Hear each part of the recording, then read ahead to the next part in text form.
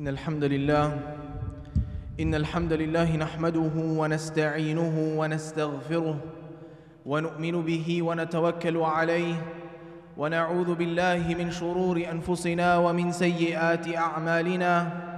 من يهده الله فلا مضل له ومن يضلله فلا هادي له. وأشهد أن لا إله إلا الله وحده لا شريك له. وأشهد أن محمدا عبده ورسوله. قال تعالى في كتابه الكريم بعد أعوذ بالله من الشيطان الرجيم بسم الله الرحمن الرحيم. يا أيها الناس اتقوا ربكم الذي خلقكم من نفس واحدة وخلق منها زوجها وبث منهما رجالا كثيرا ونساء. واتقوا الله الذي تساءلون به والأرحام. ان الله كان عليكم رقيبا.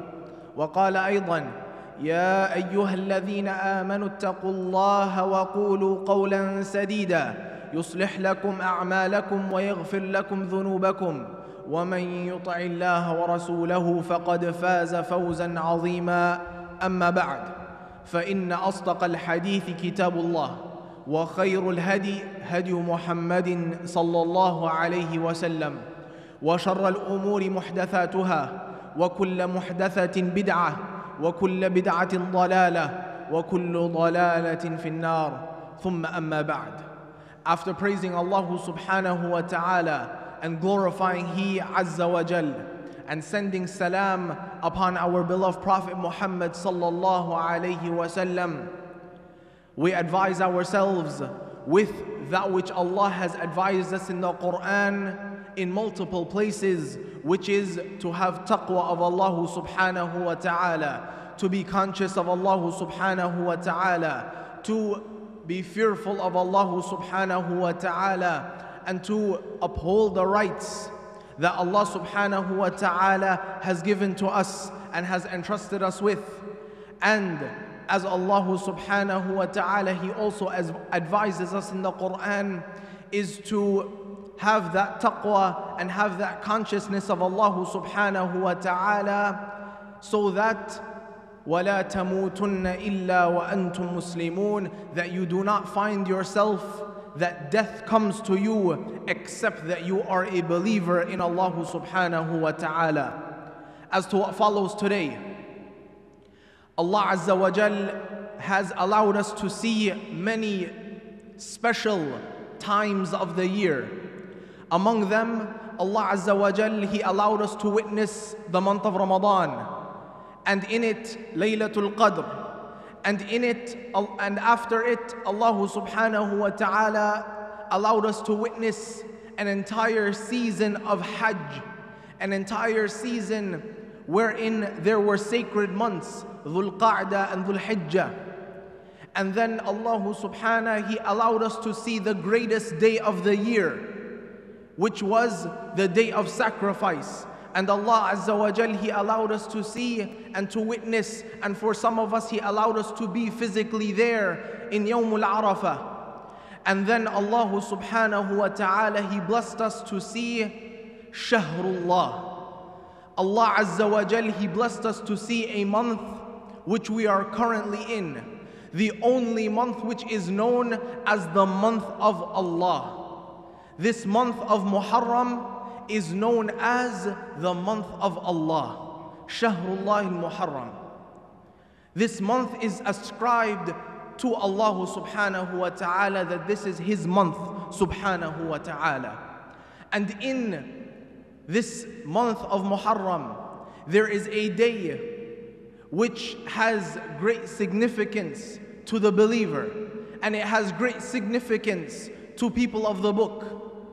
And this is the day of Ashura, or the 10th day of Muharram, in which the Prophet ﷺ has narrated, and it has been narrated from the Prophet ﷺ, several ahadith talking about this day. And there have been many reports talking about things that have occurred on this day. And the Prophet ﷺ, he mentioned that the Jews were fasting in Medina and they informed him that they are fasting out of veneration and out of happiness of the day that Musa and Bani Israel were saved from Fir'aun. And there are some other reports of things that have happened on this day, some of which are authentic and some which are not authentic. We also know that on this day, there were significant events that occurred in the life of the grandson of our Prophet Muhammad sallallahu alaihi wasallam. And it is important for the Muslim to know their history. It is important for the Muslim to study that which has happened and to be aware and to be informed believers when it comes to all of these incidents and everything that has taken place in the time of the Prophet sallallahu alaihi wasallam and thereafter. Today, we want to extract some lessons. Today, we don't want to give a story, we don't want to give history because many times we have heard all of these things already. And many times, people will continuously talk about different stories and different uh, incidents that occurred in this time period. We want to take some things that are practical. Among the things that have been narrated about the day of Ashura and about the events of this day, we see an underlying theme. If we take the, the story of Musa alayhi salam and the Bani Israel, we will see that after long periods of persecution, after long periods of preaching, after long periods of calling to Allah subhanahu wa ta'ala, enduring hardship and difficulty, Allah subhanahu wa ta'ala gave Musa and gave Bani Israel a way out of the persecution and the torment of Fir'aun. He took them out of that dhulm, he took them out of that injustice, and he gave them something which was better. He gave them a miraculous exit from that situation. And so, the points of benefit that we want to take is that after a period of difficulty, after a period of struggle, after a period of tests and trials, Allah subhanahu wa ta'ala always has something better for the believer. There is always something better for the believer. Whether you see it in this life or whether it is something for you in the hereafter, and sometimes you get both of them. Either Allah will reward you in this life and in the next, or Allah will withhold for the believer their reward until the next life. So don't think that because you're being tested and Allah subhanahu he says in the Quran that after difficulty comes ease and you're not seeing any ease that Allah subhanahu has forsaken you. Rather it might be that your reward is coming soon or Allah is keeping your reward and a better reward for the hereafter. Because there is no reward that can be given in this life that will compare to that which Allah has in store in the hereafter. And so, some of the benefits that we want to take is when it comes to hardship, when it comes to difficulty, when it comes to depression, when it comes to anxiety, when it comes to all of these struggles that we have in the world, what does our religion teach us about them? the first and foremost point that we want to mention is that you and I were worshipped to cre- were, were created to worship Allah subhanahu wa ta'ala. وَمَا خَلَقْتُ الْجِنَّ وَالْإِنسَ إِلَّا لِيَعْبُدُونَ This is your purpose and my purpose of creation. Allah subhanahu He created us that we might worship Him. So this is part of what makes us human beings. This is a part of what makes us servants of Allah subhanahu wa ta'ala. This is the underlying root of why we were even put on this earth to worship Allah subhanahu wa ta'ala. And then Allah subhanahu He says in the Quran, أَحَسِبَ النَّاسُ أَن يُتْرَكُوا أَن يَقُولُوا آمَنَّا وَهُمْ لَا يُفْتَنُونَ Did you think, did we think, did mankind think that we would say we believe in Allah subhanahu wa ta'ala and we would not be tested? Did we really think that I say I believe in Allah and that's all that's needed? That Allah is not going to test me further? This is a question that Allah poses in the Quran. Did you really think that that was going to be it? This shows us right away that it is one thing to say that I believe, but it is another thing to be tested by Allah subhanahu wa ta'ala and to overcome those tests. The second lesson that we want to take is that Allah, Allah tests us and Allah gives us trials so that you may be purified, so that your sins can be washed away. Allah subhanahu wa ta'ala gives us small tests, small difficulties in this world that help to wipe away sins that would be punishable in the akhirah.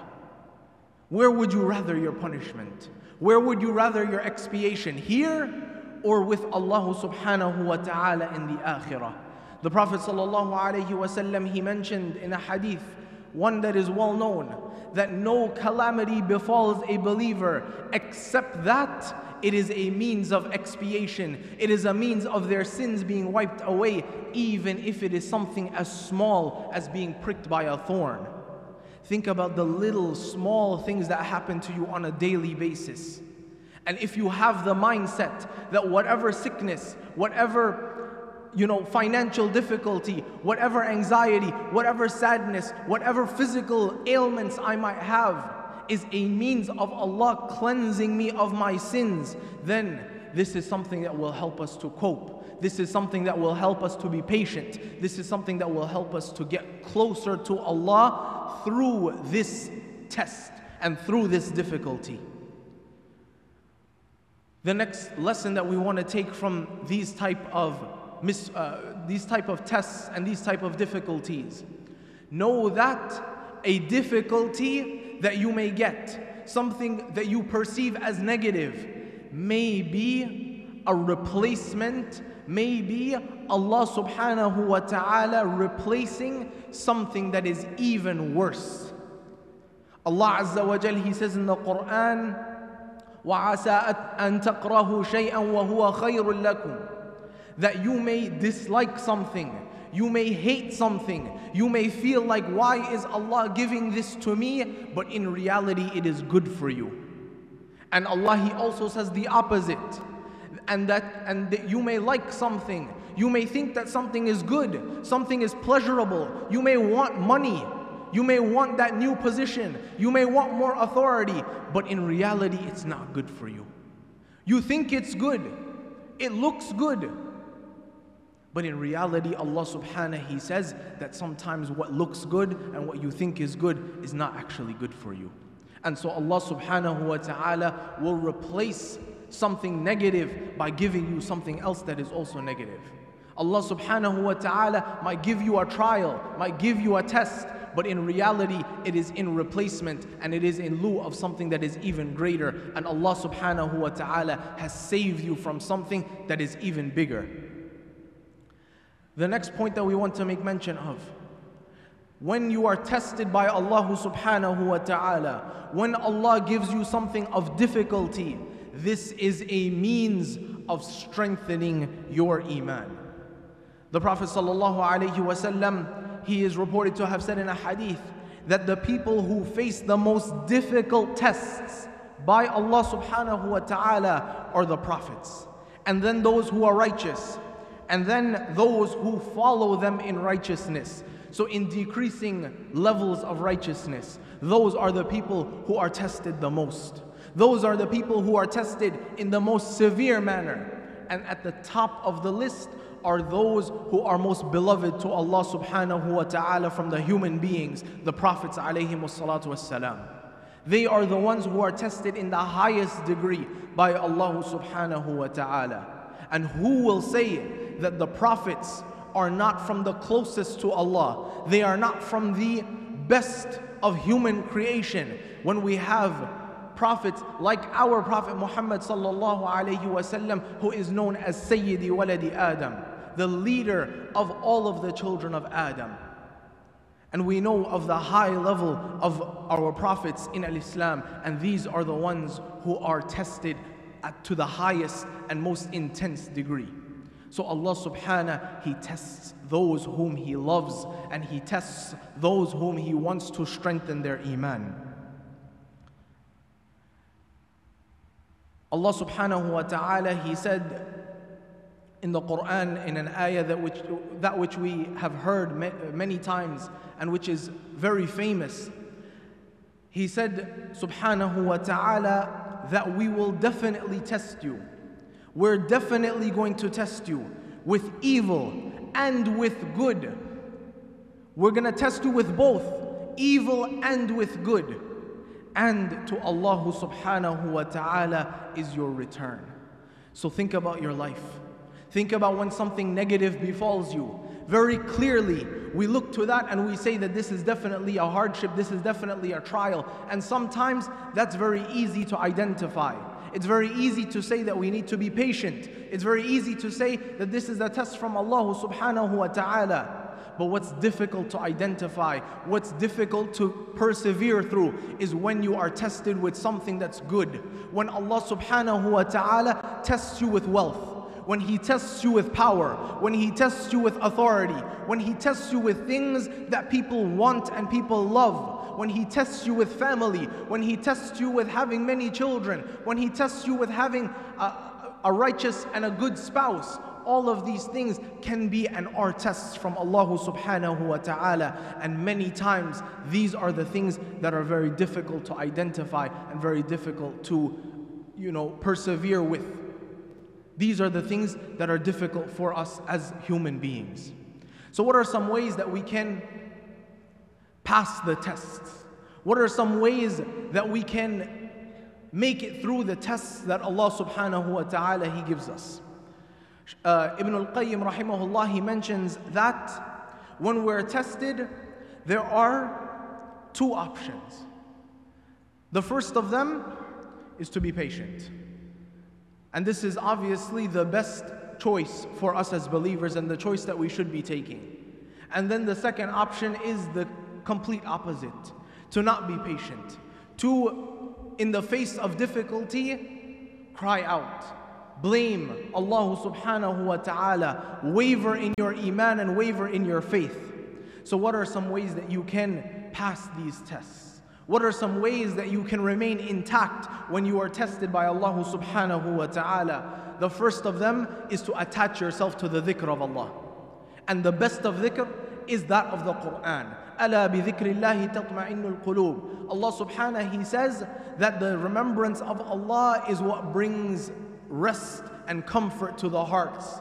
And the best of remembrance of Allah, the best of dhikr is that of the Quran, is the speech of Allah subhanahu wa ta'ala. So attach yourself to the Quran. The second, the believer has a weapon and the believer has a means of reaching out directly to Allah subhanahu wa ta'ala. You don't need to go to anyone else. You don't need to ask someone to make this on your behalf. You don't need to do anything except that you yourself raise your hands, you yourself call out to Allah subhanahu wa ta'ala with sincerity and make dua to Allah subhanahu wa ta'ala that He keeps you strong, that He keeps you safe, that He aids you in whatever you're, you're going through. Like the prophets did, and we see that throughout the Quran. For example, the Prophet Ayyub alayhi salam, he, re, he calls out to Allah, Inni massani al-dur wa anta arhamur rahimin. And then the Prophet Yaqub alayhi salam, after he was tested, Innama ashku bathi wa huzni ila Allah. Every single time they turn to Allah subhanahu wa ta'ala, they reach out to Allah subhanahu wa ta'ala. And so the believer should always be in the dua, in reaching out to Allah subhanahu wa ta'ala.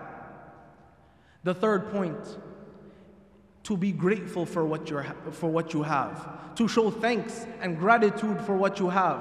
Allah subhanahu, He says in the Quran, وَقَلِيلٌ مِّنْ عِبَادِيَ الشَّكُورِ that very few from the believers, very few from the worshippers of Allah subhanahu wa ta'ala are thankful and grateful. Be from those few people who are grateful to Allah subhanahu wa ta'ala. Look at what you have and look at what so many below you have. Look at what you have and look at what so many who are on the streets, so many who are orphans, so, so many who face food insecurity, so many who are in countries with political turmoil, so many who are being persecuted because of their faith. Look at where you are and look at where they are. Look at the situation that they are in and look at the situation that you are in. Look at the blessings of Allah subhanahu wa ta'ala on you and then assess whether you are really in such difficulty. Look at the situation that you are in versus those who are below you, those who have less than you. And then allow yourself to realize that this is something small as compared to what others are going through. This is something difficult, yes, but Allah subhanahu wa ta'ala has blessed me in so many other things. And so many other people are in so much more difficulty. And so this will be a means of you being able to persevere and for you to be able to patiently endure. The fifth point that we want to mention, and we'll end with one point after this. The fifth point that we want to mention understand that nothing in this world is forever. Nothing in this world is forever. And Allah subhanahu wa ta'ala, He promises, He promises in the Quran in a verse which we are all familiar with, in a verse which we know well, where Allah subhanahu wa ta'ala, He says that He's not going to task any soul, He's not going to task any individual with more than they can bear. Something, a very famous ayah in Surah Al Baqarah, in the end of the surah, where Allah subhanahu wa ta'ala, He says this. He's not going to give us anything that we cannot bear. He's not going to task us with more than we can deal with. And so understand that nothing in this life lasts forever. Nothing in this life lasts forever. And so it is upon us to be patient, knowing that the reward of Allah subhanahu wa ta'ala is near knowing that the reward of Allah subhanahu wa ta'ala will come, whether we get it in this life or we get it in the life to come. Brothers, if you can please move forward as much as you can, make space for those who are coming late, inshallah. Fill up the gaps. Know that whatever is from Allah subhanahu wa ta'ala will come to you. Know that the reward of Allah subhanahu wa ta'ala will come to you. And the point that we want to end with some people have trials some people have tribulations that are long term. Maybe financial difficulty that lasts for years. Maybe a physical ailment that lasts for a long period of time. Maybe there's whatever the case may be, whatever the difficulty might be. And it seems as though there's no way out. When you look at your issue, when you look at your situation, you can definitely say it looks like this is not going to be solved tomorrow. There's very little hope in your mind that anything will be solved in a short period of time. And so you look at this as something that is going to be long term, that you're going to be tested with this difficulty for a long period of time. And for many people, this can be extremely, extremely dejecting. This can be something that lowers your morale, this can be something that causes you to waver in your iman. This can be something that causes you to give up hope. And in these cases, I advise myself and I advise you to take every single day as it is. Take it one day at a time. Don't look at this problem as something that lasts for years or something that's going to last for months, but look at it one day at a time. You, wake, you wake up, you deal with what you have to deal with.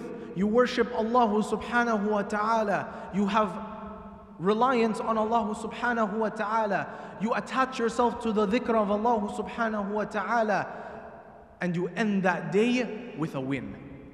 You do all of those things one day and you end that day, you go to sleep with a win. You've won that day. And then you wake up and you do it again tomorrow. Tomorrow is not the, a continuation of the day before. Rather, tomorrow is a day in it of itself. Tomorrow is its own opportunity. And so, if you treat every single day like that, you deal with your problems one day at a time. You deal with the tests one day at a time. And every single day, you strive as much as you can to worship Allah, to attach yourself to Allah subhanahu wa ta'ala, to attach yourself to the dhikr of Allah, to have reliance in Allah subhanahu wa ta'ala. And little by little, one win comes to two wins, comes to three wins. And before you know it, you've had a pile and a stockpile of days in which you have done good. In days which you've come close to Allah subhanahu wa ta'ala. In days which you have won. And tackling difficulties in this manner is something that can be beneficial. Instead of looking at it as a mountain where you lose hope and you become scared and you become to you begin to waver in your iman. Look at that mountain and start to chip away little by little. The same way that the artist will sculpt out of a, out of a slab of rock until it becomes the statue that they were trying to create, until it becomes that image that they were trying to recreate. Little by little is what we need when it comes to this life and when it comes to the trials and the tribulations that we face. We ask Allah subhanahu wa ta'ala to ease our affairs. We ask Allah subhanahu wa ta'ala to grant us ease in everything that we do. We ask Allah subhanahu wa ta'ala to give us good in this life. We ask Allah azza wa jal to give us good in the life to come. And we ask Allah subhanahu wa ta'ala to make us all from the people of Jannah. أقول قولي هذا وأستغفر الله لي ولكم ولسائر المسلمين فاستغفروه إنه هو الغفور الرحيم.